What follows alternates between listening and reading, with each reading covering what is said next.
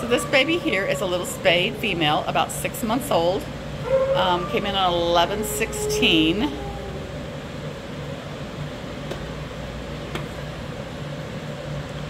She is a really pretty, pretty little girl.